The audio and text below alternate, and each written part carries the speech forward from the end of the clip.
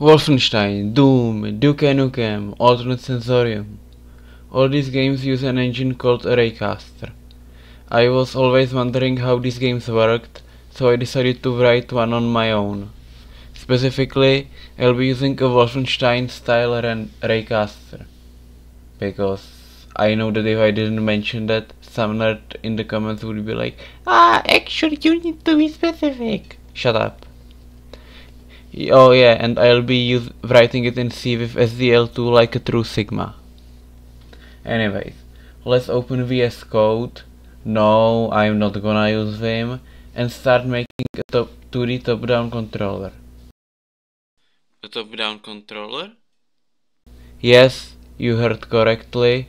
A top-down controller. The engine works by imagining the game board as a 2D grid of blocks on which the player is placed. They have their own X position, Y position and some angle. We can cast a ray from the player, which means imagining a line in some direction and checking until it intersects with a wall. Based on that length, we draw a scanline corresponding to the to some column on the screen. We do this for the entire FOV and get this pseudo 3D effect. The map is implemented as a string where the new lines represent the row ends. The player has three parameters, their x and y positions and some angle of rotation. We make them move in the x-axis by multiplying the cosine of the angle by some velocity and by doing the same except with sines in the y-axis the collision code. Oh my god, don't force me to explain this. It's and I wrote it about a month ago, so I don't recall how it works myself. so what time is it for now? DDA, which is arguably worse.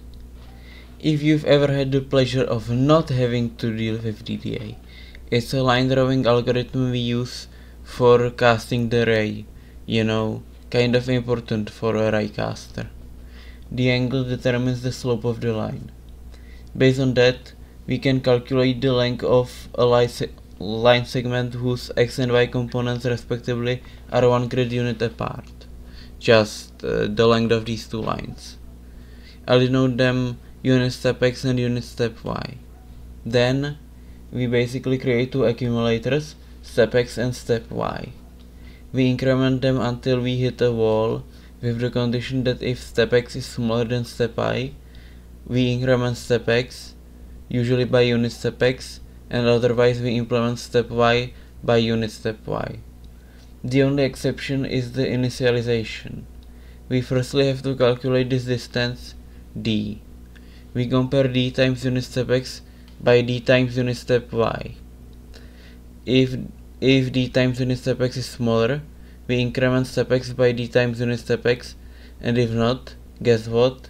We increment step y by di times unit step y. Sounds convoluted, right? That's why I was complaining before. You think I was over exaggerating? You sicko. Oh, and by the way, this on this is only for uh, angle between 0 and 90 degrees. You have to extend it for the full unit circle. Anyways this website saved my ass so I should at least give it a shout out. So C A A A A shh. Also this is this annoying fisheye effect that I conveniently don't have on camera so I have to steal from a screenshot but which looks like that and can be solved by multiplying the distance by a cosine as of now, the game looks like this, but the green feels a bit monotone, so let's replace it with a texture. We can subdivide the block into several sections. Then, we check which segment did the ray hit and project the stretch texture based on that. The formula for column width, yeah, I saw it from the internet. I also tried to implement a floor caster, but well, I think we can just scrap that. Instead, I implemented a map, a binary search tree, to hold the textures, which are bound to an ASCII symbol. I also colored the floor and ceiling since the black looked boring. But, despite all the work we've done, it feels so lonely here. What was this for? What did I achieve? I thought writing a Raycaster would give me freedom, but instead, I'm just here, stuck alone, my room being my prison. Oh, hi Miku!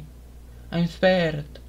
The sprite drawing algorithm works by firstly calculating the angle the let's call her an entity makes with the x-axis.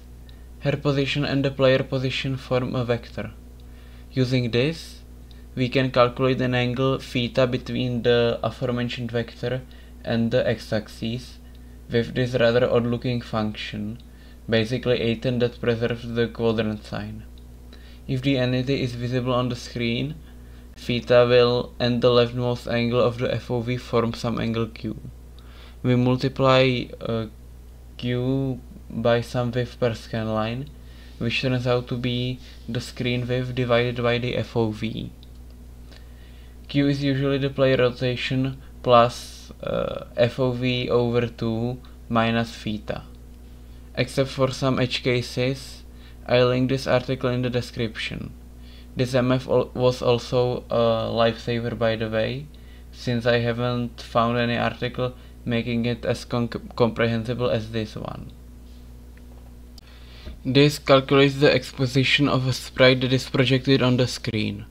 The y position is always centered and the scale is determined by this equation.